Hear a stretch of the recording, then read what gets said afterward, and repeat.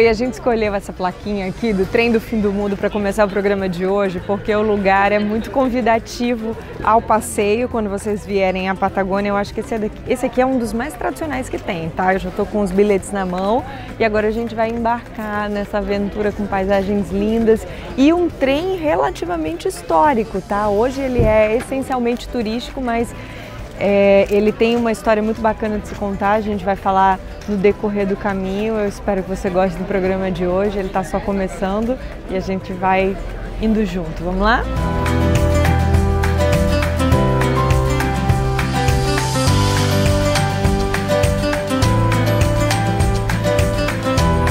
A coisa aqui funciona da seguinte maneira: você tem que ter este ticket aqui, que é o ingresso do parque, que custa 490 pesos, mais ou menos 49 reais. E eu acho super justo, porque esse dinheiro é para manutenção de tudo isso aqui, que é uma estrutura bem grande. Além disso, você tem que ter este aqui, ó, que é o ticket para fazer o passeio do trem, porque existe também a opção de você não ir de trem, né? Aí a van te leva lá no final, mas o interessante é fazer esse passeio, sentir um pouco do que os presidiários no início do século XX é, viveram aqui nessa região. Fico só imaginando que não devia ser nada fácil, né, a vida deles, porque o clima aqui é, é punk, né? Inclusive tem alguns funcionários ali caracterizados de presidiários. Será que o uniforme que eles usavam era esse? Muito provavelmente sim, né? Essa cor mais amarela, porque aí você consegue, se alguém inventar de fugir, você consegue é, ver a pessoa à distância.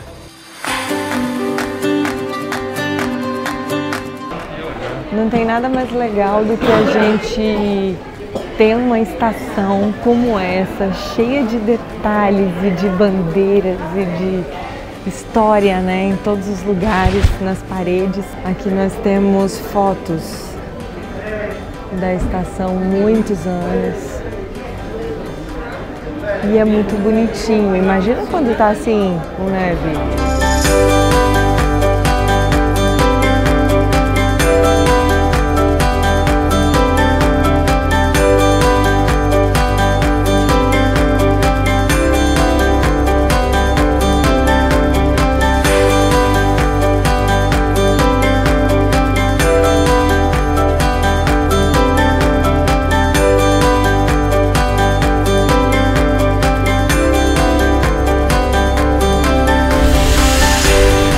Legal e como é bonita a locomotiva. O trem está partindo agora para continuar o passeio aqui por esse cenário.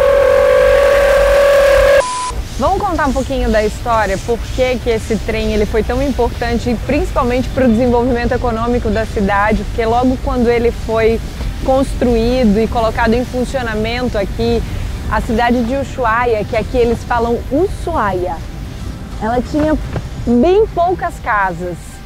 Em 1983, o presidente da região criou um presídio de segurança máxima na região para tentar fazer tipo uma população penal. Tanto as famílias dos policiais quanto os presos viriam para cá e essa região tão distante no sul iria se formando e se desenvolvendo e o trem foi super importante, principalmente nesse processo.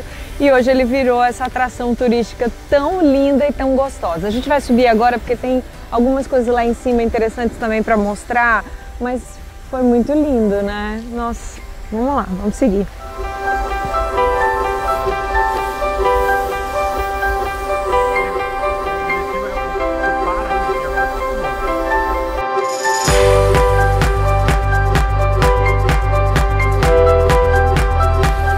Charmoso isso aqui, viu?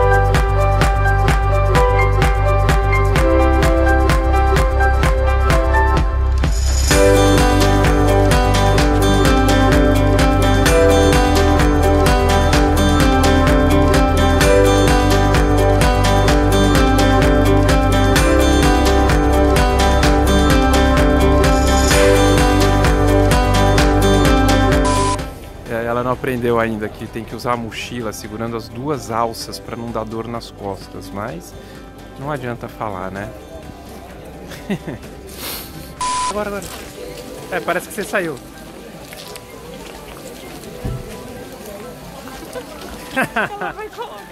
a coisa mais fake que foi.